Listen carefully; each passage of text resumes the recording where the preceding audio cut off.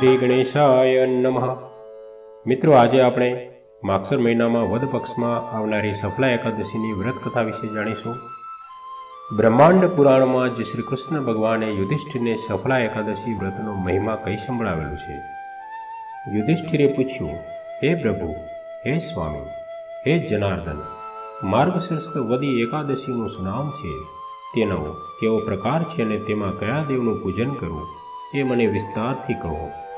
ભગવાન કહે છે કે, હે રાજા, એકાદશીના વ્રતથી હું એવો પ્રસન્ન થાઉં છું. તેઓ મોટા ખર્ચ વડે કરેલા યજ્ઞોથી પણ પ્રસન્ન થતું નથી. માટે એકાદશીનું વ્રત તો જરૂર કરવું જોઈએ. માગસર મહિનાના કૃષ્ણ પક્ષની એકાદશી, કે જેનું નામ સફલા એકાદશી છે અને તેના અધિષ્ઠાતા દેવ નારાયણ છે, માટે વિધિશર નારાયણની પૂજા કરીને જો આ વ્રત કરે, તો તે ભક્ત મને અત્યંત પ્રિય થાય છે. હે રાજન આ એકાદશીના મહાત્મ્યની કથા તમને સંભળાવું છું. ચંપાવતી નામે એક નગરી હતી. એમાં માઇસ્મતન રાજા રાજ્ય કરતો હતો. તેનો સૌથી મોટો પુત્ર લુંપક મહાપાપી અને દુરાચારી હતો.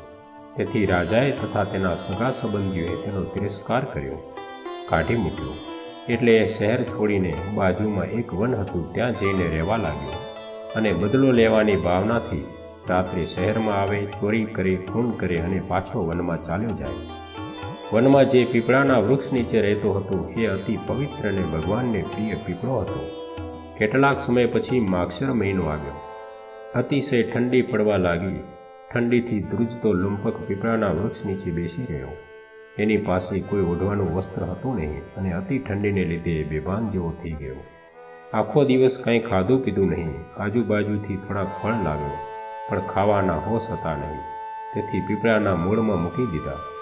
એ આખી રાત્રિ તેને ઊંઘ ન આવી અને પીપળાના થડ પાસે બેસી રહ્યો. એ રીતે અજાણતા જ તેનાથી ઉપવાસ અને જાગરણ થયું. તે માક્ષર વધ સફલા એકાદશીનો દિવસ હતો. સવાર પડી ત્યાં એક દિવ્ય ઘોડો લુંપક પાસે આવ્યો. તેમાં દિવ્ય વસ્તુ હતી તે લુંપકને આપી અને તેને દિવ્યનાદ સંભળાવ્યો કે, હે રાજકુમાર તે કરેલા સફલા એકાદશીના વ્રતથી ભગવાન પ્રસન્ન થયા છે. તું તારા પિતા પાસે પાછું જા તને રાજ્ય મળશે. અને લુંપક જેવો એ ઘોડા પર બેઠો કે તરત જ સાજો તાજો સ્વરૂપવાન બની ગયો. તેની મનોવૃત્તિ પણ બદલાઈ ગઈ. ભગવાનનો પરમ ભક્ત બની ગયો અને પોતાના પિતા પાસે આવી નમસ્કાર કર્યા. પોતાના પુત્રને આ રીતે પવિત્ર સદગુણી અને ભગવાન પ્રત્યે દ્રઢ ભક્તિવાળું જાણીને તેને રાજ્ય સોંપ્યું. ત્યારથી લુંપક વિધિશર એકાદશીનું વ્રત તથા ભગવાનની ભક્તિ કરવા લાગ્યો અને સુખેથી રાજ્ય ભોગવી. આયુષ્યના અંતે તેને મોક્ષ થયો. શ્રી કૃષ્ણ કહે છે, હે રાજન, સફલા એકાદશીના દિવસે વિધિશર ફળો વડે ભગવાનની પૂજા કરવી અને દીવાનું દાન કરવું. અને સુરવીરતાપૂર્વક કષ્ટ સહન કરીને પણ ભગવાનના સ્મરણ સાથે જાગરણ કરવું. આ રીતે સફલા એકાદશીનું વ્રત કરવાથી અનેક ગણા ફળની પ્રાપ્તિ થાય છે. અને ભગવાન તેની પર પ્રસન્ન થઈને તેને મનોરથ પૂર્ણ કરે છે. શ્રી કૃષ્ણ યુધિષ્ઠિર સંવાદે માર્ગશીર્ષ કૃષ્ણેકાવદસ્ય સફલા નામન્ય મહાત્મય સંપૂર્ણ. બોલીએ શ્રી રાધા કૃષ્ણ દેવ કી જય.